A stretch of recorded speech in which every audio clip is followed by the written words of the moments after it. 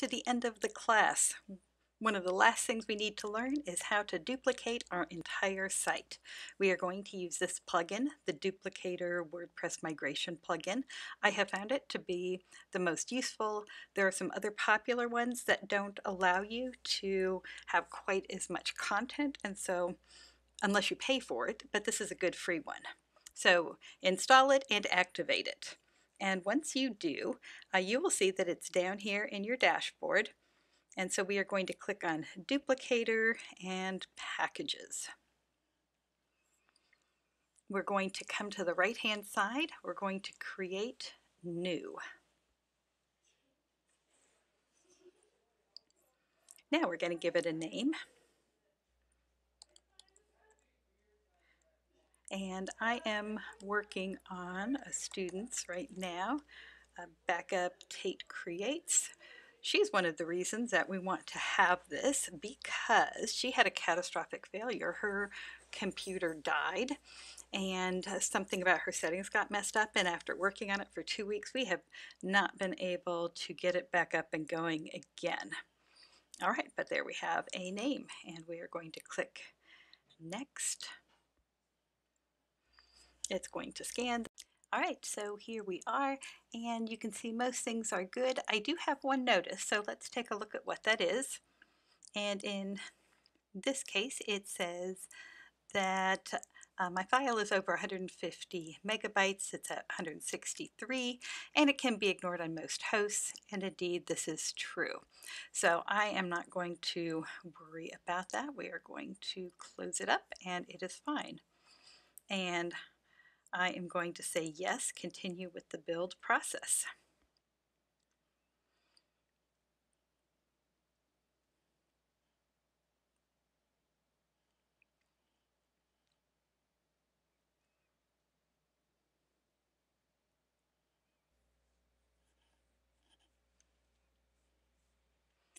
All right, so now I am going to download both the archive. The archive is the, the zip file that has all of my backup in it. So I'm going to download that.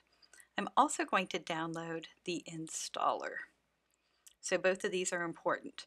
Now supposedly this is a one-click download, but I've had trouble with it, so it's supposed to install both, it's supposed to download both these things, but for some reason it doesn't work for me. So we're just going to go with that there. Now, what do we do from here? What do we do that now we have this uh, archived file and I want to be able to, uh, to use that. So let me go to my, this is to the basic MAMP page. Usually we click on my websites, but today we're going to go to PHP My Admin, which is one of the first things we did in the beginning of the class. So I just want to give you a quick explanation of how you would uh, use your backup in order to install to a new site. All right, so if you remember that the first thing when we were creating uh, your website was we had to give it a database name. So I'm going to call this one Tate Creates, and I'm going to say 2 because I already have that original one that I duplicated everything from. So I'm going to create this and before I do I'm going to just go ahead and copy paste this. There we go. Tate creates. And that's good. I am happy with that. What I'm going to do next is I am going to open up my file and I'm going to want two windows open really. So let me go ahead and get another window open.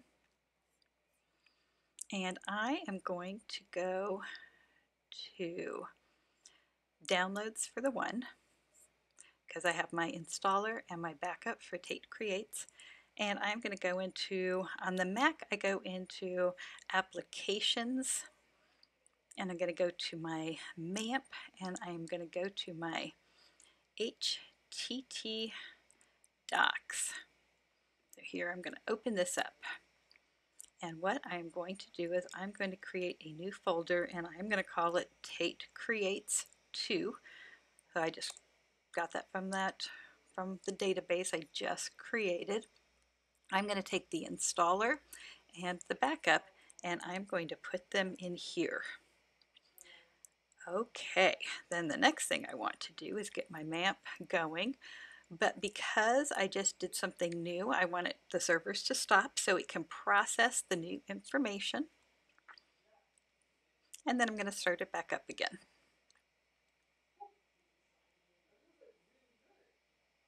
Okay, now we're going to go click on my website like we normally do. And we have a new database here, Tate Creates 2 and we're going to click on installer.